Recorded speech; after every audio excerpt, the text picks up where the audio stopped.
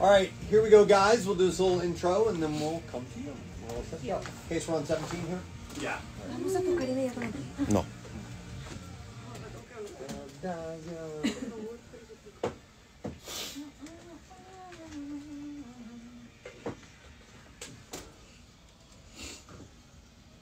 Foo Fighters 93.3 WMMR. Of course, it's everything that rocks. Love Dies Young. Song. 10 minutes after 9 o'clock on the Preston and Steve Show. Gorgeous.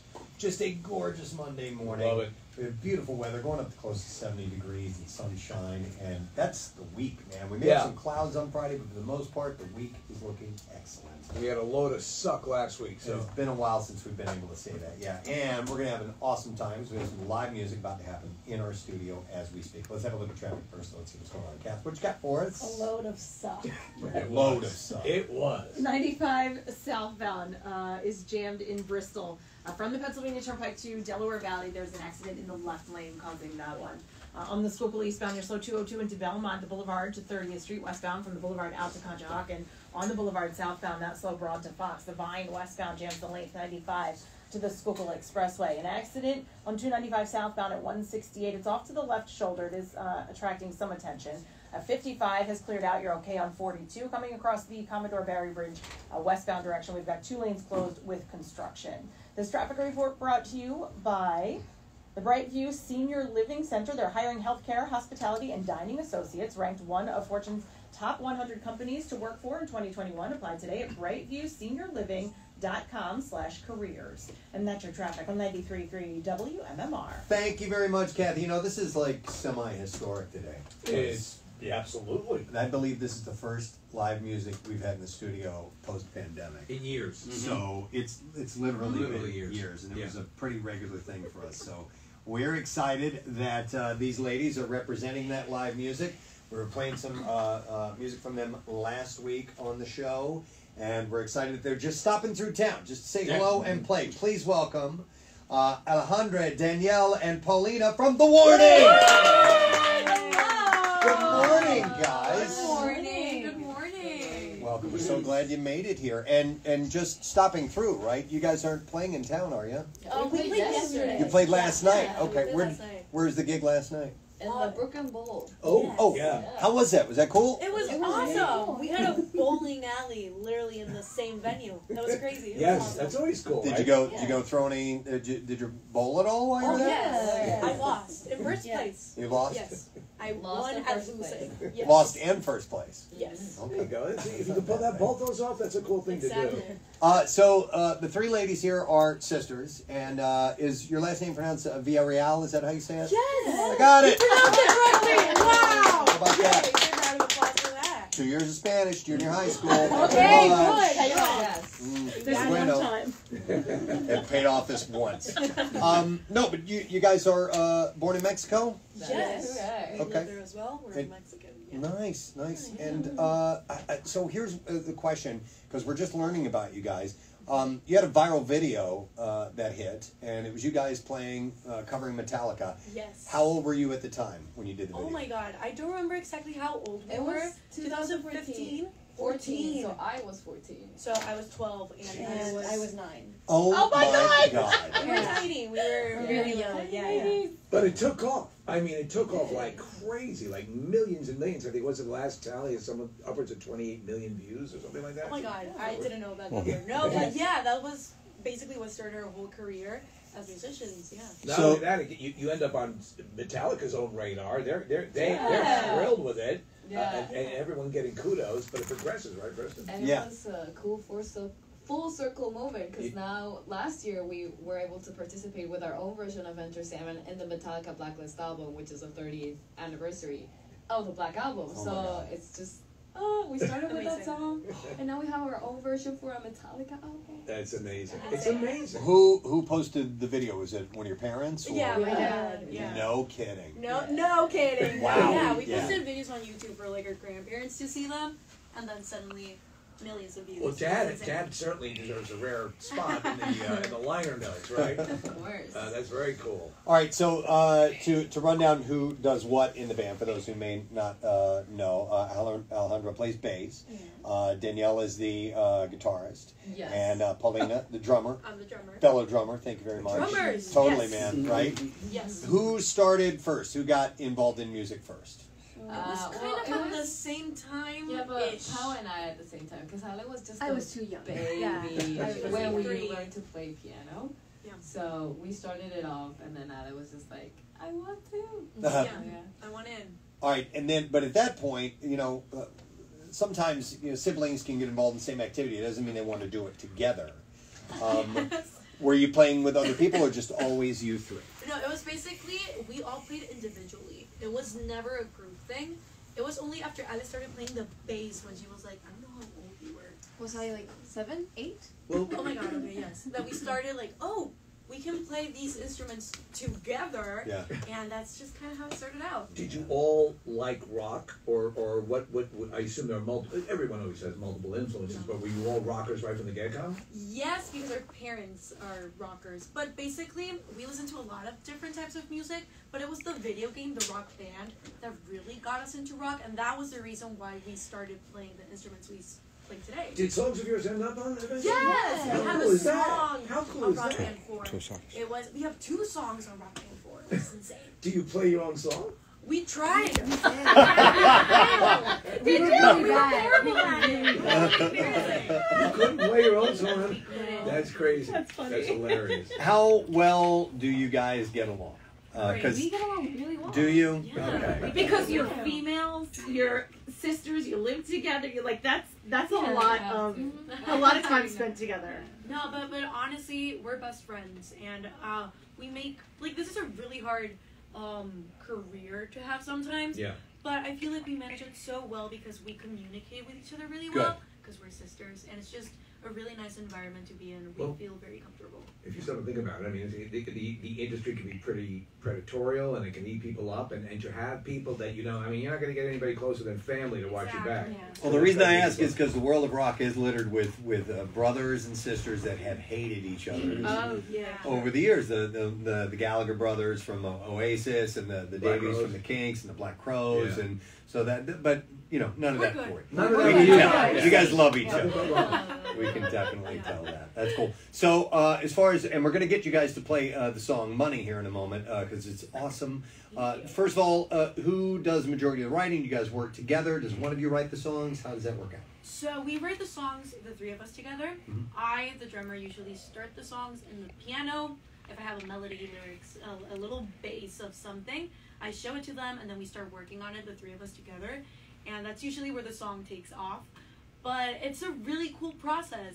But talking about the sister thing, that's usually where we fight the most. Yeah. Oh, with, we're with the songwriting? Yeah. Look at they're all, they all agree. Do you have a good so that if you set the parameters and say, okay, we're going to fight, but we're fighting for the same cause, so does that? Yeah, yeah, that yeah, kind of like that. Okay. And at the end of the day, music is just opinions and Right. it's tastes. So it's just kind of like balancing our opinions until we reach a middle ground, Okay. and that's what we've been doing so far. It's gonna Great, be hard awesome. because you, you you write something that that you like that it, but Yes. the other people aren't the other two might not be hearing it and they have to choose am I going to be honest that I don't really like this or am I just going to say And yeah that's we, we good usually choose Yeah. the honesty And path. good Yeah. It's crazy to kind of try and describe and pitch your idea because you hear it in your head, but no one else is hearing that. So yeah. it's just like, so you ah. kind of have to like sell your point without having an actual point, if that makes any sense. Uh, no, I, Anthony Yeah. Kiedis. I remember I was watching. Was it maybe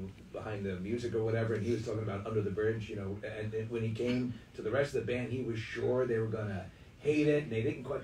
They didn't quite get it, but they didn't. They said, "Okay, let's let's work this." And, and he said that's when he felt, "This is my band. We're a band." Like they may, may they may not understand it right now, but they're gonna work with me to get what I want to get out. So Yeah. you guys have that Yeah. same That, that's the whole thing. Yeah. That's exactly it. Yes. Yeah, that's very cool. what about what about your parents do they have in, in say in the music at all or they leave it up to you guys Oh, they leave it up to us, definitely. Yeah, like they really support us throughout the whole mm-hmm. process, but the like that's our thing. Okay. We'll give honest opinions. though. Yeah. Yeah. Good. So that's Yeah. good. Well, and I feel like with family too, like parents and then especially siblings, there's no like you can be honest. Like I- I'm just thinking about Yeah. talking to my brothers. Like I would never sugarcoat anything with them. I'm like, no, you're Yeah. being a jerk right now. Like, She you shoot know? go with us. Yeah. Exactly, exactly.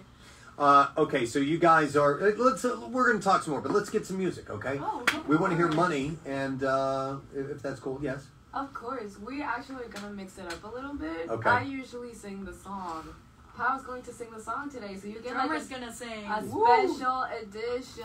Yes. An and ex- it's an acoustic version of Yes. the song. all right, it's an exclusive here on the Preston and Steve Show. Alright. All right, ladies and gentlemen, this is the warning with money on MMR.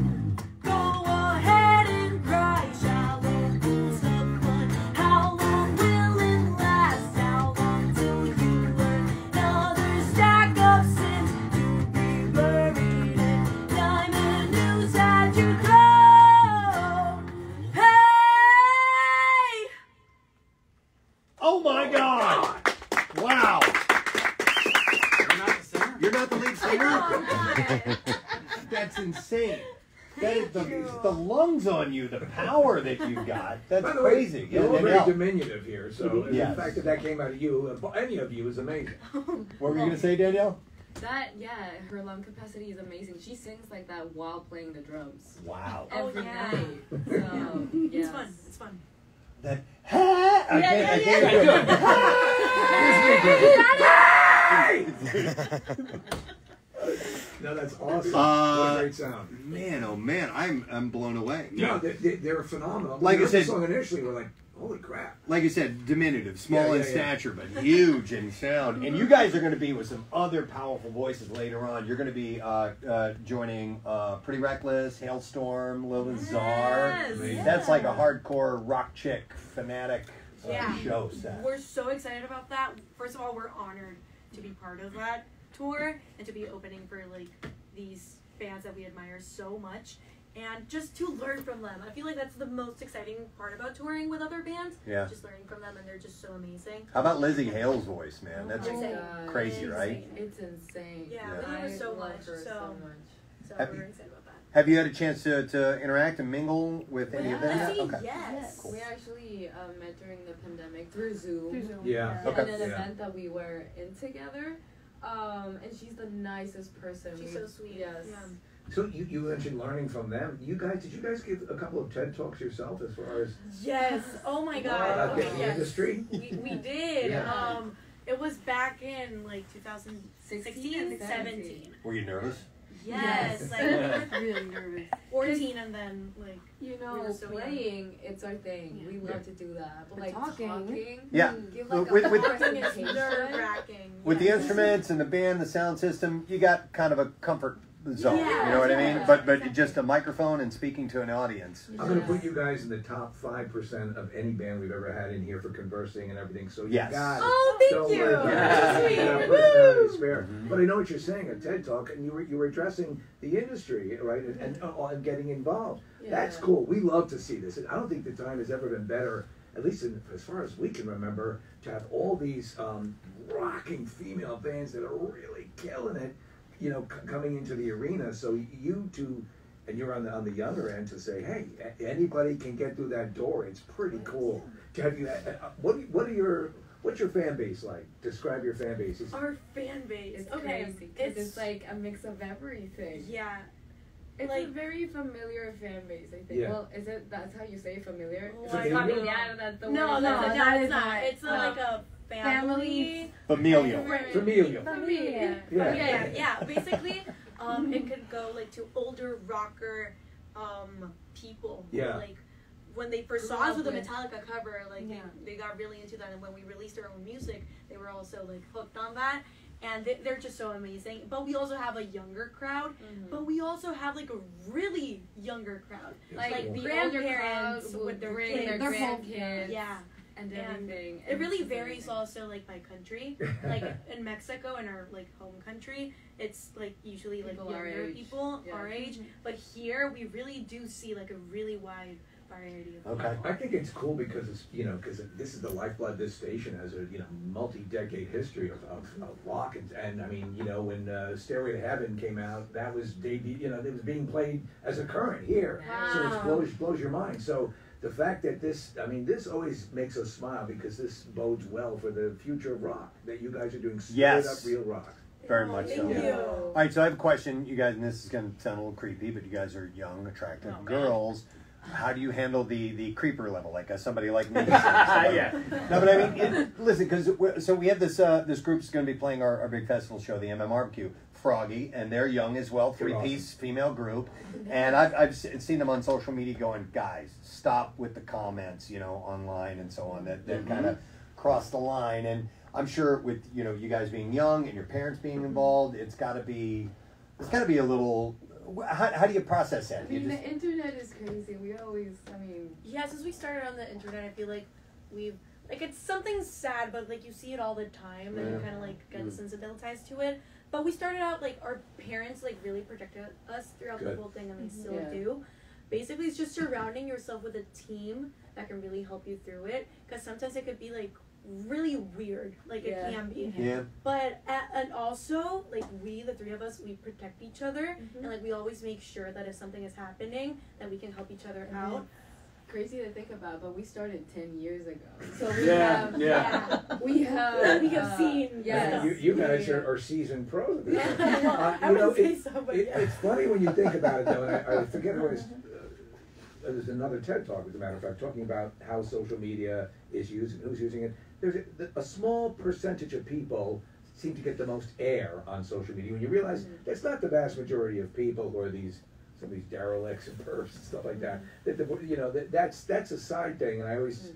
our our mindset is just remember the source, remember the kind of person who would get who would get that way and just dismiss them because it seems like on every other level, the fans and what we read in the comments and stuff all huge and, and they love you. By the way, here's a here's a comment I think you guys will like. A text that came across that says that song was something you might hear in the intro of a James Bond movie. Oh, no. Thank you. That's nice. We know Billie Eilish just got uh, they were Yeah, announced she did the last uh, yeah. Bond movie, which Yeah. is pretty cool.